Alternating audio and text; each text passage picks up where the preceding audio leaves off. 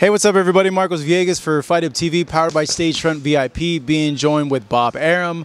Where uh, Bob, we're going to be discussing a, a, variety of topics that I just want to get your thoughts uh, and your insight on. Uh, uh first off, uh, big news heavyweight undisputed finally. Uh, I know a lot of fans are, are, saying, hey, I won't believe it until they step in the ring, but a lot of fans are saying, hey, you know, what took so long? Like, this should have been done, you know, a long time ago. Well, I think all credit goes to uh, Prince Turki uh, and his organization uh, because uh, he was able to secure this fight uh, because no nonsense guy who directly controls the sovereign fund in Saudi Arabia for entertainment. So the fighters knew that once they signed contract, the money would be there, and they weren't dealing with any middleman. You know, so once uh, uh, Prince Turki was in the picture, I was convinced that this fight was going to happen because, like Tyson's experience in the Ngannou fight, uh, when he signed it, most of his purse uh, was already in his bank account. So, you know, it's no nonsense. It's good, honest business and I was confident that this fight was going to happen once uh, Prince Turki uh, for Saudi Arabia uh, decided that that's the fight that the kingdom wanted. So before then, the issue was there was a middleman or, or, a middle promoter that would have to get permission from Prince Turki to clear the funds. Is, is that what was happening? Of course, of course. Uh, the middleman, even if the middleman came from Saudi Arabia, like Skill Challenge, they could make a deal, but then they'd have to go and get the funds from the sovereign fund. And maybe yes, they did it. You know, uh, when uh, uh, Usyk fought Joshua the second time, but you know that wasn't always going to be the case. But now with Prince Turki, who controls the sovereign fund as far as entertainment. You're not dealing with the middleman, you're dealing with the source. I know a big thing about why the fight supposedly uh, fell through the first couple times was the split, and that Usyk had agreed to a 7:30. Is it a, a split that's similar to that? Is it a 50-50 split? Can you comment on that? There's no split.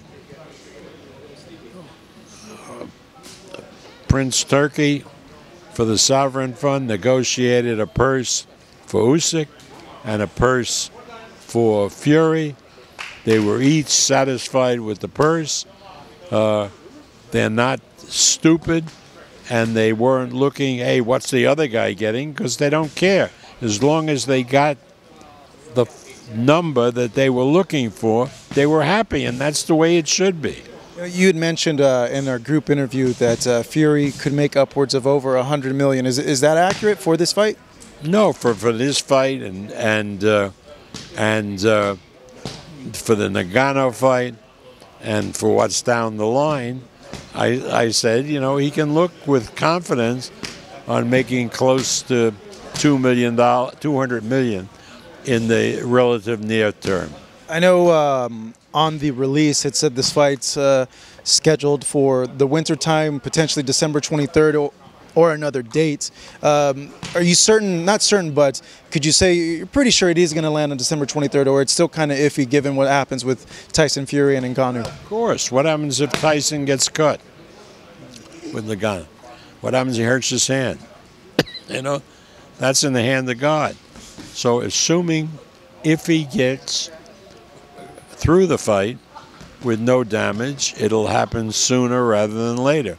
I don't know if necessarily December 23 is the date. Tyson has to take care of business on October 28th when he fights Ngannou, and then we're off to the races uh, with the unified heavyweight championship of the world. How long in the works has this been, Bob? Because it kind of took everybody for surprise. You've got to understand that it, nothing was really real, nothing really mattered until Prince Turki, who is in charge of entertainment for the sovereign fund got involved because he's the real deal. Everybody else had to go to him for the money. So whatever they were promising, whether it was skill challenge or everything, it was baloney. Because not baloney, but he had to put the money up. Once he got involved, now you're dealing with the entity that really controls the money, and he is a terrific guy. Uh, we've had a great experience, both ourselves and Frank Warren's Queensberry, dealing uh, with uh, Prince Turki, and uh, we look forward uh, to this uh, great heavyweight championship fight, which will take place sometime uh, this winter. And when, will the date be con- when will the date be confirmed? I saw a date there, but if that's well. Not- obviously, the date is not going to be confirmed until after October 28th, because what happens if Tyson gets busted up or hurts his hand? But when that fight is over, and everybody, Usyk, I know, is coming there for that fight, then an announcement will be made of the actual date for that fight. And as I understand it, it will be held in the same arena as the uh, Fury Ngannou fight is being. Bob, uh, anything you want to say to skeptical fans who might? This is a publicity stunt to build up the Ngannou fight, and I don't believe Tyson. Fury Well, because they're sick. If they think that they're sick, if they think that the one of the top officials in Saudi Arabia is going to lend himself to this crap in order to build up a fight, they they're out of their mind. I mean, that's when maybe boxing promoters over here did, but but not at that level. What made the difference this time? What's your What? What made the difference this time? I know there was a big issue with the splits and the money. There was no issue with the guy who, when you made a contract with him, he sent a deposit, and they were the, the fighters were confident that whatever number he threw out and they accepted, they would get paid that money. I mean, that, again, it was it, it was people who uh, were wishful thinking about coming up with money and so forth. But finally, the entity that really has the money uh, was talking, and, and, and again, everybody has to listen. And, Are you giving Usyk a shot? about It said that he could make over hundred What? million Are you giving Usyk a shot in this fight against Fury? Usyk, yeah, he's Ukrainian. You never discount the Ukrainian. I mean that. These sons of bitches. I mean, whoever figured that they'd beat the Russians, right? They were such such a small country compared to Russia. And look what's happening. Bob, how dangerous is about- Ngannou? How dangerous is the first fight? Ngannou was tough. I mean, uh, you know, I, I've seen pictures of uh, Mike Tyson training him.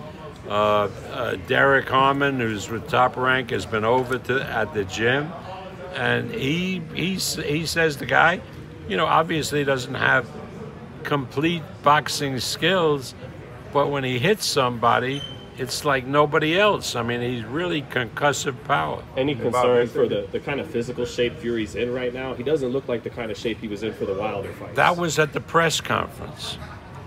He had has plenty of time now, to, and he is, I understand, getting into great, great shape.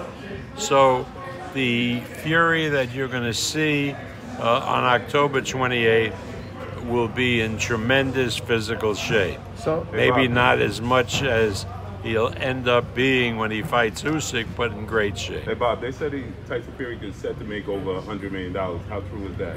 Well, if you told Tyson Fury he's said to make a hundred million, he'd really get pissed off because he thinks, and I think he's right, that he's going to make a lot more.